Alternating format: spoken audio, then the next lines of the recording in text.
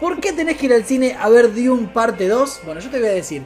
La película es espectacular y pasa absolutamente de todo y es autoconclusiva, no como pasó con la 1, que en la 1 tenés el problemita de que el final te deja con ganas de más. Acá vas a tener a Zendaya con mucho más protagonismo y tenés a Timothy Chalamet que a descoce la película está muy bien. Él está bien preparado, está bien actuado. Las escenas se les nota a él el cambio que va teniendo el personaje y cómo va cambiando a medida de lo que va pasando. Y visualmente la película es impresionante. O sea, no hay con qué darle, se ve perfecta, está todo bien contado, está todo bien hecho. El tiempo, que es larga, dura más de dos horas, bastante más de dos horas, pasa rápido porque siempre estás contando algo.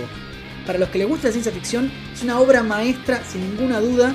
La verdad que la creación de los personajes, los diálogos y cómo está filmada hace que valgan cada segundo de Dune parte 2.